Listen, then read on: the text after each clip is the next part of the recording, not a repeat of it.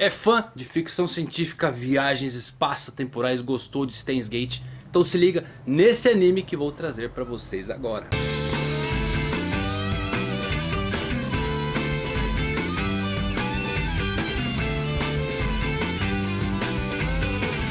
Fala galera, Evandro Fusari mais um vídeo pra vocês trazendo uma indicação de um anime bem legal Uma ficção científica bem interessante, se você é fã desse tipo de gênero, principalmente em animes Tenho certeza que vai curtir, é um anime pouco conhecido, pouco divulgado Mas com uma temática interessante e uma história muito legal O nome desse anime é Noen Mohitori no Kimi E Chamaria apenas de Noen para você se identificar melhor com esse anime. Um anime de ficção científica que tem como diretores Kazuki Akane e Kenji Yasuda. Foi produzida pelos estúdios Satellite e durou de dezembro de 2005 até março de 2006 com 24 episódios. A história começa em um futuro alternativo durante uma batalha devastadora entre dois espaço-tempos, os Time Spaces. Um se chama Lágrima, uma possibilidade de um futuro para a humanidade e outro se chama Shangri-La, uma dimensão baseada na destruição de todo o espaço-tempo. E um grupo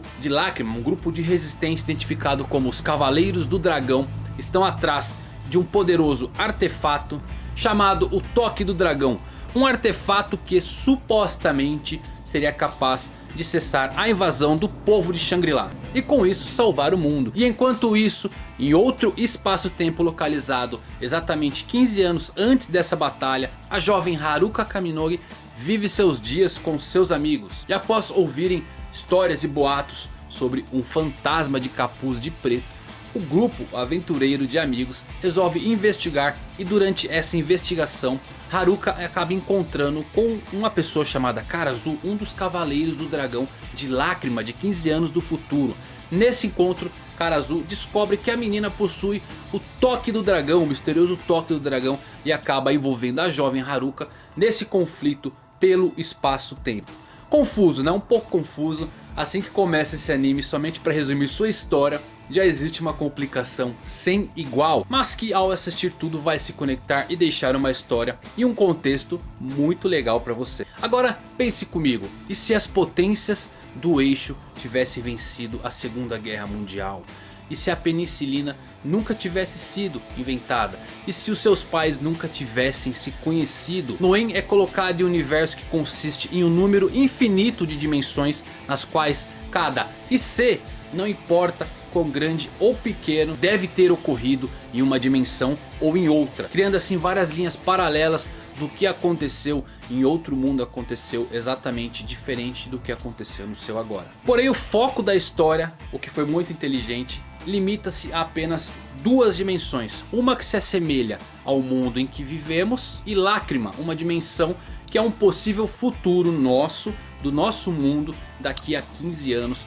Onde os seres humanos são forçados a se esconderem devido a uma terrível calamidade que se abateu sobre a Terra. Geralmente quando se pensa em animes de ficção científica já vem à sua cabeça logo mechas, né? robôs, como por exemplo a franquia Gundam ou Code Geass no entanto, essa obra aborda conceitos bem diferentes e bem interessantes do universo mecha, totalmente fora desse contexto. E não em somos apresentados aos conceitos de física quântica. Então se você é um nerd aí de física vai se esbaldar. Teorias sobre o espaço-tempo que embora sejam claro apresentados de uma maneira exagerada. Porque estamos falando aí de um anime. São conceitos pertinentes como os de múltiplo espaço-tempo e essa abordagem acaba dando um tom diferencial a essa obra. Outro ponto que vai te deixar surpreso é a qualidade gráfica desse anime, considerado que ele foi produzido em 2005. Essa obra tem uma qualidade em CG muito boa, muito interessante, que não fica atrás de animes produzidos hoje em dia, por exemplo. Noi pode parecer um pouquinho parado e confuso no início, mas com o desenrolar da trama eu tenho certeza que você vai conseguir entender bem o conteúdo abordado e direcionado dessa obra. E isso vai te instigar a acompanhar cada episódio e principalmente o desfecho. Então se você é fã de ficção científica, recomendo que você dê uma chance para esse anime. Confira aí essa obra bem interessante. Tem alguns personagens bem cativantes, introdução de elementos pouco abordados e uma história bem trabalhada, o que torna Noe um anime diferenciado do que você está acostumado.